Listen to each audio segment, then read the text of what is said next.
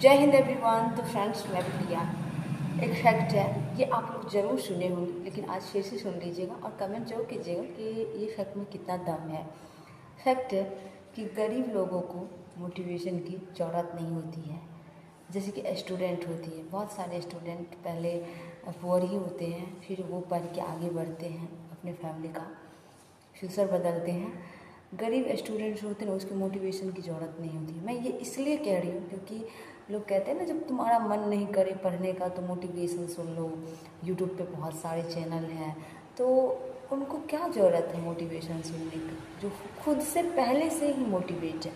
और थोड़ा सा नहीं मोटिवेट है, बहुत ज़्यादा मोटिवेट है। उसके माइंड में बहुत सारा सपने चलते हैं, बहुत सारे एक आइडिया चलते हैं कि ये हो जाएगा तो ये हो जाएगा, और ये हो जाएगा तो ये हो जाएगा। अगर ऐसे में मेरे को जॉब लग जाता है तो मैं ये कर दूँगा अपने फैमिली के लिए।